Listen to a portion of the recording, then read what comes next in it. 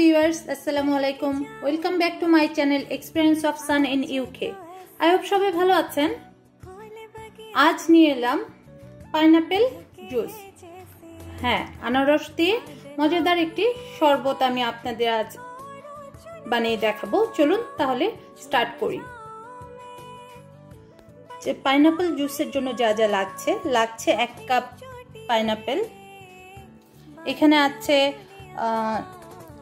One four spoon টালা জিরার গুঁড়া, ওয়ান ফোর স্পুন বিট লবণ, ব্ল্যাক সল্ট যেটা বলে।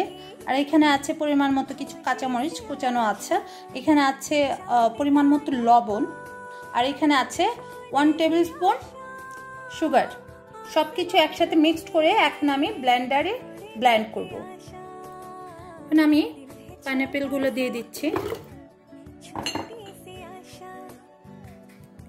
অল্প একটু পাইনাপেল নিয়ে নিলাম, সাথে একটু পানি নিয়ে নিলাম। যেহেতু আমি ব্ল্যান্ড করব, এখানে একটু পানি না দিলে ব্ল্যান্ডটা ঠিক মতো হবে না। আমি কুচানো কাঁচামরিচগুলো দিয়ে দিচ্ছি, মনে হচ্ছে অনেক বেশি ঝাল হবে, এত দিব না আমি। আর এখানে টালা জিরার গুঁড়া আর ব্ল্যাক সল্ট যেটা বিট লবণ দিয়ে দিলাম। দিয়ে নিচ্ছে লবণ আর সুগার এখন সবগুলো আমি একসাথে ব্ল্যান্ড করব।